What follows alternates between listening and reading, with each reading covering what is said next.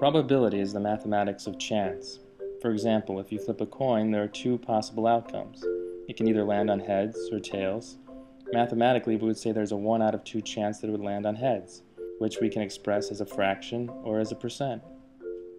To give another example, if we rolled a die that has 6 sides, we would say that it has a 1 out of 6 chance of landing on a particular side, or 16.7% chance. The odds that it would land on two possible outcomes like 1 or 2 would have the odds of 2 out of 6, or one third, or 33.3%. Therefore, the probability that a certain event will occur is the number of desired outcomes over the number of possible outcomes. Now, what about calculating the probability of multiple events occurring, like the probability that these two die will land on the same number? Well, as you can see, the total number of outcomes or combinations are now much greater. In fact, the precise number of combinations can be found by multiplying the total number of outcomes of the two die which is 6 times 6, or 36.